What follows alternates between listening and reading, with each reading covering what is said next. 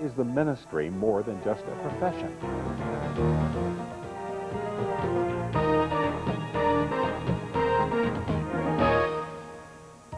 Numbers 3. Let's put the text in context coming up next.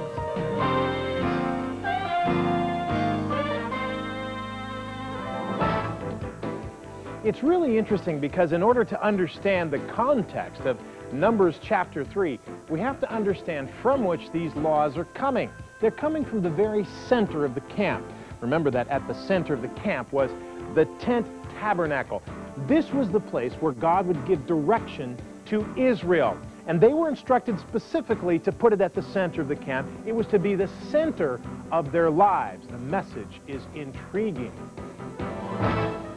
It's intriguing because we learn the descriptions, the roles of the priest, the roles of the Levites, because you see the priest and the Levites were different roles. And it's very interesting, there is a structure here. And that structure is not determined by popularity contests or not determined by popular vote or electorates. No, this is determined by God himself. This is the biggest difference between our culture today and God's culture. You say, Rod, does God have a culture? Well, in fact, he does. It's driven by his word. And here Moses, talking about the Levites, helps us understand what it is.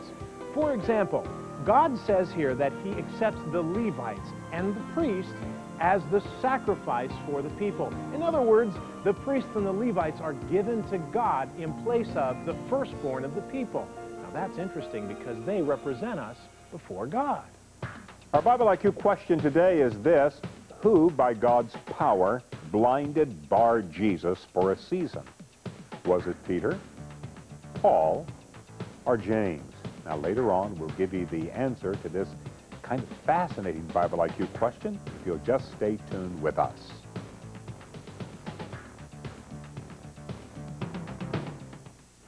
There are several significant objects which emerge in the first chapters of Genesis that remain the mainstay of communication throughout the rest of the Bible.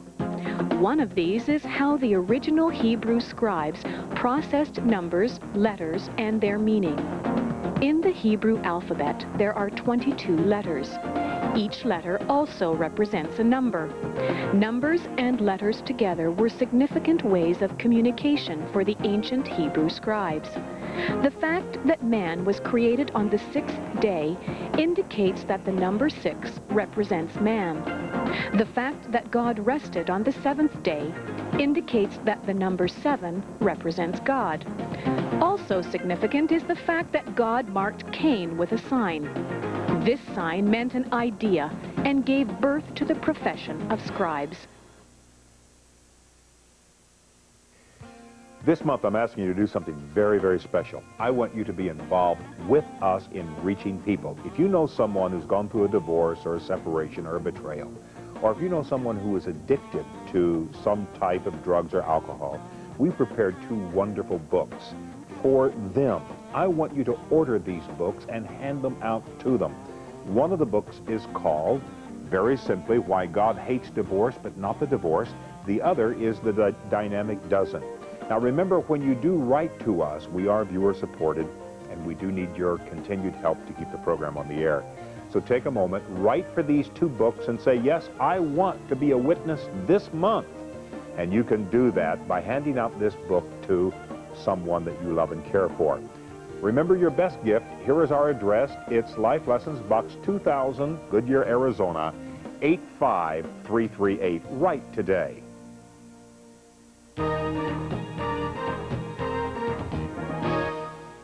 Entertainer Michael Jackson finds it hard to appreciate any other singer except himself. He says of Paul McCartney, quote, okay writer, not much of an entertainer. I do better at the box office. End of quote. He puts down Frank Sinatra this way, quote, I don't know what people see in the guy. He's a legend, but he isn't much of a singer. End of quote. Jackson criticizes Mick Jagger. He says this, quote, he sings flat. How did he ever get to be a star? I just don't get it. He doesn't sell as many records as I do. End of quote. And Jackson also says of Madonna, quote, she isn't that good, let's face it. She can't sing. She just is an okay dancer. What does she do best? She knows how to market herself. End of quote. Well, you know, tragically, many ministers have the same attitude as Jackson.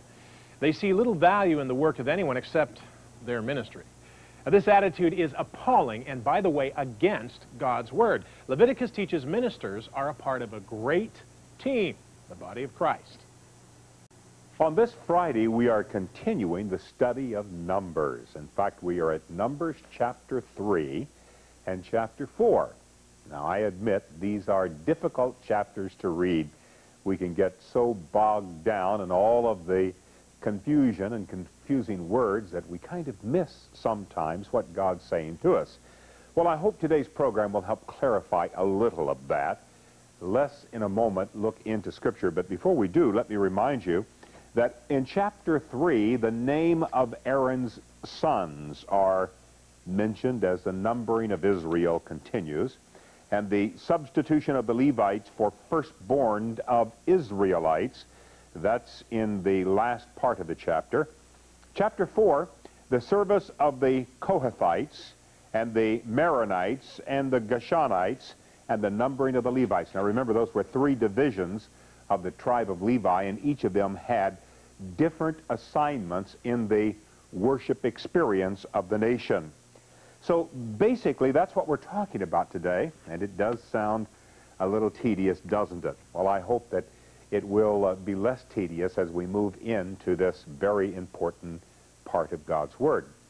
Here, before we get into the life lessons and the PowerPoints, is Scripture. This is God's Word. This is the account of the family of Aaron and Moses at the time the Lord talked with Moses on Mount Sinai. The names of the sons of Aaron were Nadab, the firstborn, and Abihu, Eleazar, and Ithamar. Those were the names of Aaron's sons, the anointed priests, who were ordained to serve as priests. Nadab and Abihu, however, fell dead before the Lord when they made an offering with unauthorized fire before him in the desert of Sinai. They had no sons, so only Eleazar and Ithamar served as priests during the lifetime of their father Aaron. The Lord said to Moses, Bring the tribe of Levi and present them to Aaron the priest to assist him. They are to perform duties for him and for the whole community at the tent of meeting by doing the work of the tabernacle. They are to take care of all the furnishings of the tent of meeting, fulfilling the obligations of the Israelites by doing the work of the tabernacle. Give the Levites to Aaron and his sons. They are the Israelites who are to be given wholly to him. Appoint Aaron and his sons to serve as priests. Anyone else who approaches the sanctuary must be put to death. The Lord also said to Moses, I have taken the Levites from among the Israelites in place of the first male offspring of every Israelite woman. The Levites are mine, for all the firstborn are mine. When I struck down all the firstborn in Egypt, I set apart for myself every firstborn in Israel, whether man or animal. They are to be mine. I am the Lord. Numbers 3, verses 1 through 13. Keep in mind, when Samuel was born, he was the firstborn. And of course, he was given back to God. He was the first fruits. So Israel had a a long history of offering the first of the flock, the cattle, whatever, to the Lord. God said, since Egypt's bondage delivered, uh, delivered you from Egypt's bondage, I have asked for the first fruits of, of your trees, of your field, of your cattle, and of your sons. Which really meant that every son of the Israelites, the firstborn, was to be in ministry. However, we see in this segment that God says, now that probably is not too practical, so I'm going to set aside a tribe. And the tribe is the tribe of Levi, and they are going to be substitutes. Those priests are going to be taking the place of the firstborn sons, so they are really what is called the first fruits of Israel. Very wonderful uh, program that God outlined. Well, let's get into our PowerPoints or life lessons today. Here is the first. Ministry is a calling, not a profession. Aaron and his family had been called and anointed for ministry by God. Now, beloved, we really can't simply say, well, I think I'm going to be a, a preacher, like, you, like, I, like you'd say that I'm going to be a fireman. You can't do that. Ministers of God must be called by God. And remember, God ordains us from our mother's womb, Jeremiah chapter 1, 5, and puts within our heart the abilities and talents that we can become all he wants us to be. That's programmed in us even before we're born.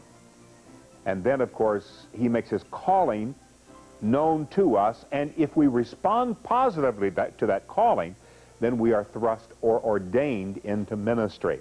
But ministry, beloved, is a calling, whether it is a priest or a pastor or an evangelist or a teacher, it is a calling, and we need to keep that in mind. Our next life lesson or PowerPoint is this.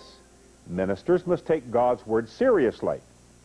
Nadab and Abihu lost their lives because they modified God's word. Now, there are those who say they appeared before God intoxicated, drunk, and they desecrated the altar. That may have been true. That's speculation, and it speculation because right after that, the next verse, after talking about their demise, deals with how that ministers are not to go into ministry inebriated. So scholars have said that's apparently what these two boys did. We do know that they offered unholy fire to God. That is, they didn't do things as God wanted. Ministers have to be careful to say what God wants them to say, and people want to hear thus saith the Lord, not thus saith man. So we have got to understand that ministers are called of God to speak the words of God. Now, our next life lesson is this. Ministry is a cooperative effort.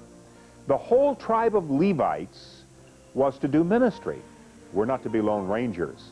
Notice he calls some to lead the music of the tribes of Levi. Some who would take care of the house or the tabernacle. Later it would be the temple. Some who were to take care of other aspects of worship the Levites were divided into three different clans for that purpose. And that speaks to us that we as ministers must be cooperative one with the other, denominations cooperative one with the other. God called us not to be lone rangers, but to work with others. Our next life lesson is this. Ministers must maintain holiness. The Levites were set up to guard God's holiness and to live purely before him. Notice they were to be careful how they handled the holy things, how they approached the altar, because God was holy or set apart from all other gods. He was different. He was to be revered. So ministers were to protect the holiness of God in the minds of the people. And they were to live separate, that is, live differently than the rest of the world. So by their example, people could see how God wanted all of us to live. A very important concept. Here's our next PowerPoint. Ministers are never their own.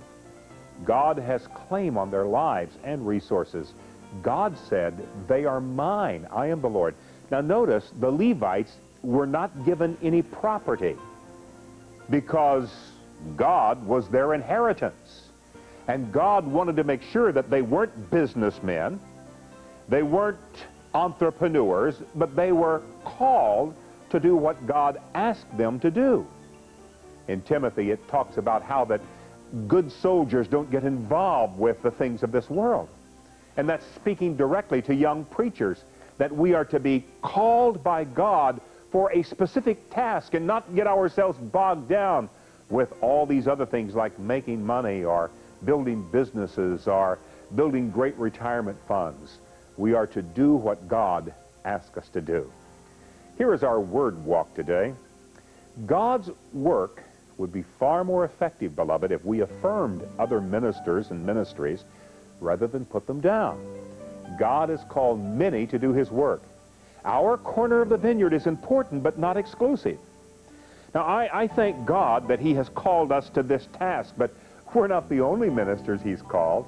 There are many other ministers. Some of you have seen just before this program, some just after this program. Some you see in churches. God has called many people to this great vineyard harvesting for the Lord. And rather than lifting up our eyes and looking on the harvesters, we need to look on the harvest.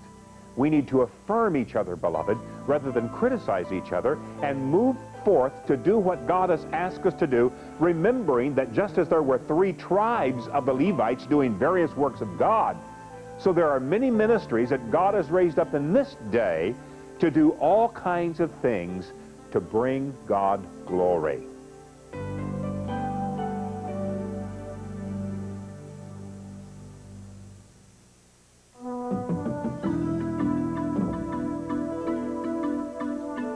Occasionally, there are great discoveries which excite the minds of archaeologists as they uncover exact descriptions of what the biblical texts report.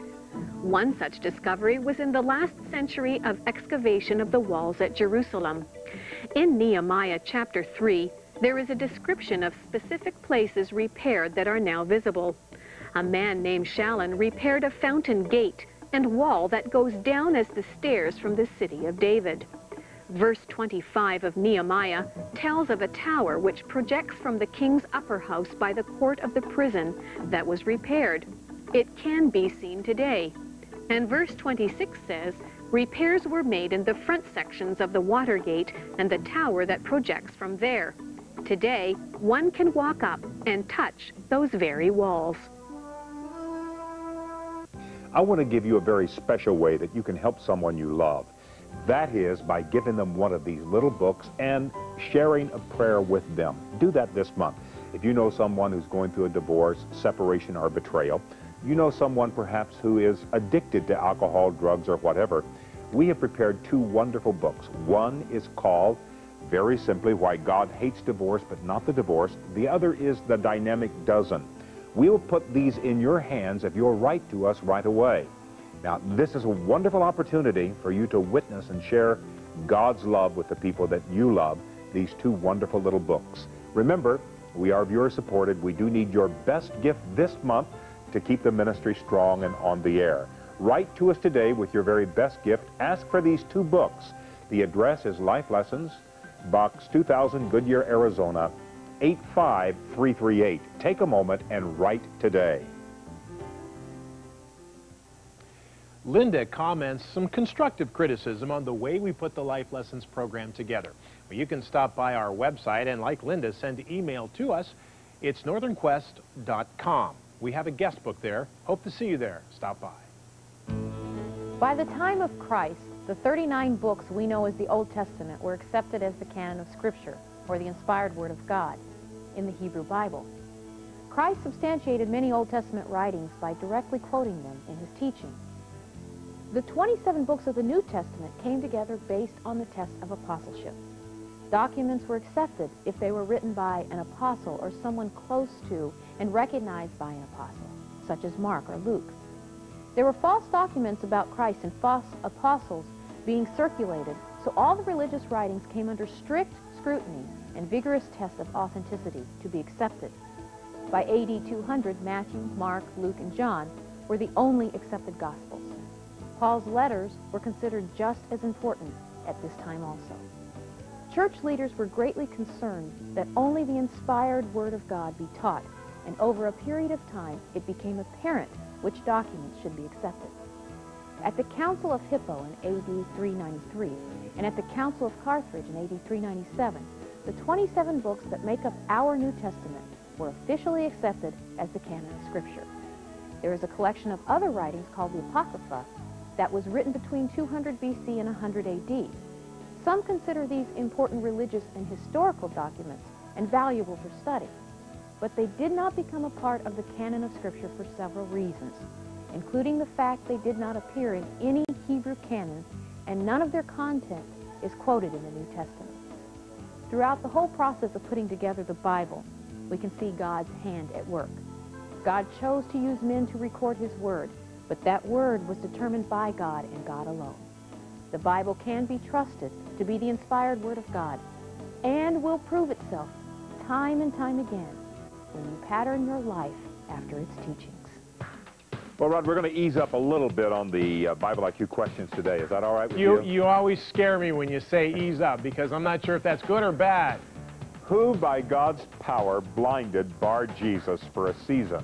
Was it Peter, Paul, or James? I believe, Dad, it was uh, Paul, wasn't it? That's right, Acts chapter 13, verses 4 through 12. See, I told you I was going to ease up a little bit. Now, you're jumping into the New Testament, I noticed, uh, now that we're studying the Old Testament. Well, don't get too relaxed because we're going to turn up the heat again. Oh, let me tell you something. When it comes to the Bible IQ question, I don't see how I can become too relaxed these days. okay, Rod. Uh, we uh, feature on video posts many wonderful ministries, and uh, there is a ministry that uh, is touching youth. Of course, youth is very close to your heart, Rod, so why don't you introduce this one? yes, of course. Uh, I mean, this is a ministry in Houston, Texas. Let's take a look at it. We'll back, be back to comment after this. By receiving Christ into their lives, young people in Houston are not only finding the strength to weather the storms of their current living situations, but they're beginning to forge a solid moral and spiritual foundation, which, for the first time, offers an optimistic outlook on their future.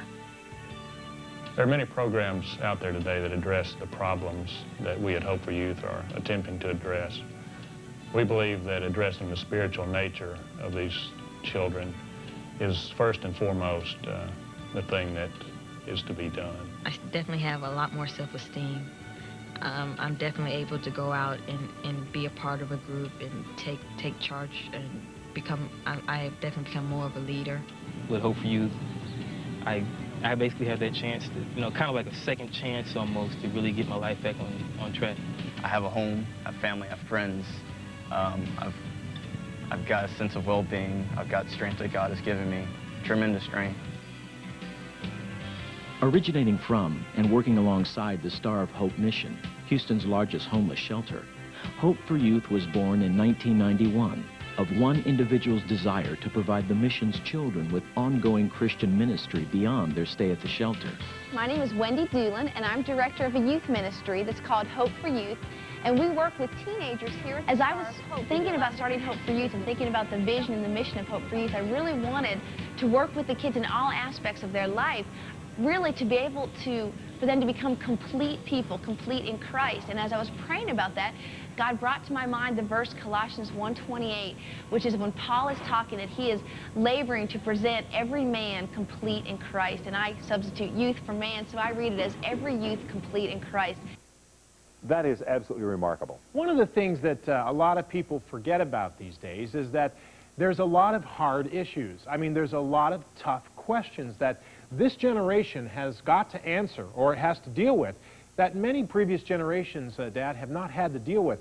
And you know what's interesting about that is that the Bible provides answers to those questions if we simply tap into it. And that's what this one youth group, uh, Star of Hope, I believe it is, is doing. Well, the, uh, the ministry there in Houston, this youth ministry, is remarkable. I, I saw a full-blown video production of that work and how God is using those young people, and it is really remarkable. We want you to let us know about any group that you feel is doing something remarkable for God. Why don't you let us know so we can feature it on Video Post?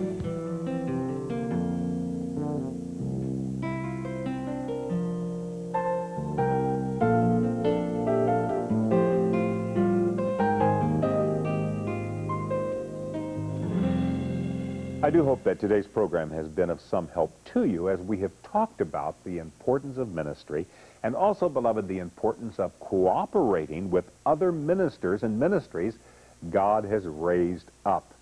That's very important for us to learn. Let me leave you with an insight and also a scripture that I would suggest that you memorize. Here is the insight.